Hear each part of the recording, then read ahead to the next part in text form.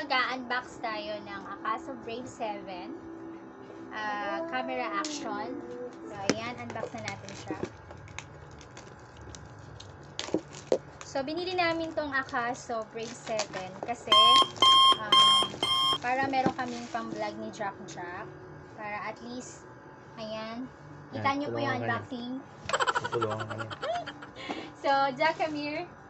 So, ayan, binili, ayun, again, binili namin to para sa vlogging namin ni Jack Jack! Wait po! So, eto siya. Ito yung unboxing niya.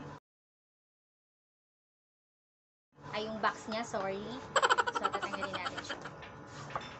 So, yung box niya is sakto lang ang laki and very um, safe kasi matigas.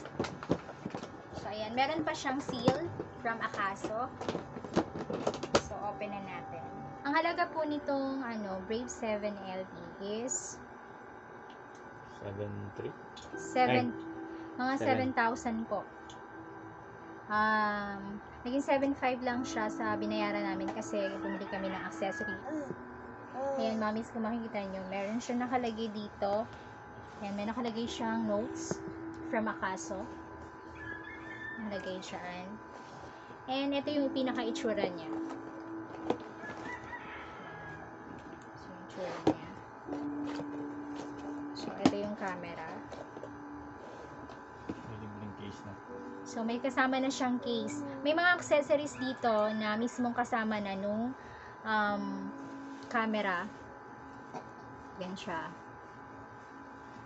So, ito case po ito. So, yun. So, tignan muna natin yung accessories. So, ito yung mga accessories na sa kabilang side siya ng box. Let's go for one. Tabi muna natin yung box. So, sa one, nakalagay dito yung mga ayan. Nakikita nyo ba? Ayan. So, hindi ko alam kung paano namin to i-assemble, pero meron naman sigurong note to dito sa box. Susundin na lang natin.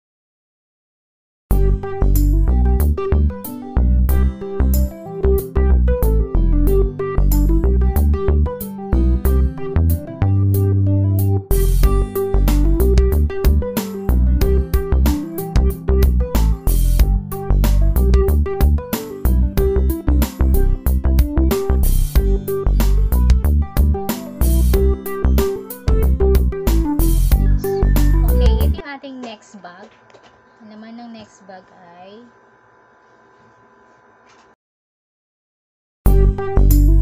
So,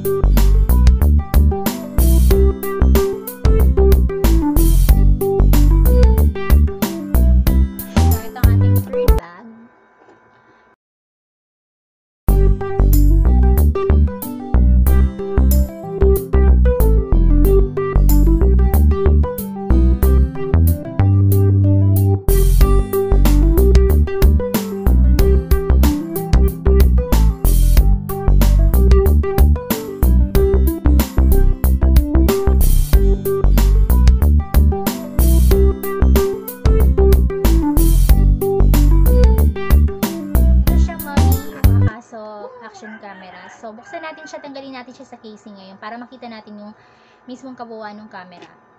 So, now, ang pag-open lang niya is angat lang natin yung dito. Yan, to unlock. Tapos, dito, open natin yung dito niya. Ayan, naka-ano siya. Yan, okay. So, tanggalin natin yung camera. So, ayan siya, mommy. Ayan yung Akaso action camera. Okay.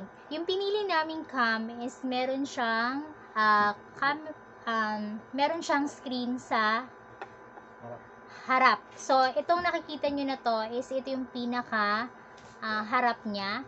And Splash 2. ito yung kabilang side which is may screen din siya. So, pinili ko to para in case of vlogging, makikita ko pa rin yung sarili ko. Open natin, try natin i-open. That's fine. Ah, ito. Ito yung power button niya, nasa gilid lang. Wala siyang charge. Andito sa side na to, yung um, charging area niya. So, tuturo kung paano siya buksan. So, press nyo lang yung pinaka ito. Tapos, itulak nyo siya ng pa pataas. So, ganito.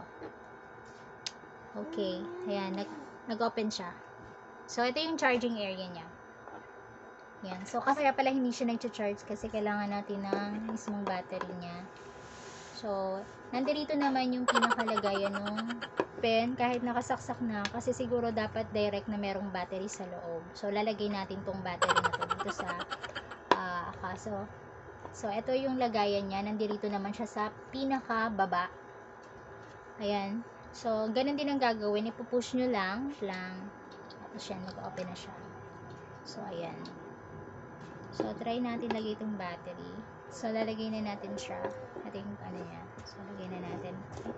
Siguro may charge na to. Okay, yan. Nakalagay na siya. Ayan, subukan natin yung open kasi baka may charge na naman siya. So, open natin. Ayun, guys. Nag, oh, nag-open siya. Ayan, mommy, nag-open siya, oh. See? Tapos, mommy, ang kagandahan pa sa Akaso na to, Brave 7, ay touchscreen po yung pinaka, ano niya, yeah, interface niya. Tapos, ayan, nag-open na siya. Ang kalagay dito is no file. So, ayan. Sarado ko muna to ha. So, hindi na pala natin kailangan i-charge kasi sa mismong battery, meron pa naman siyang, ano. So, kailangan mo, i-close muna natin. I-ano muna natin to. So, ito na siya. Yan. Ito yung pinaka-camera niya. So, titignan na natin yung mga setting. Like a Hellcat!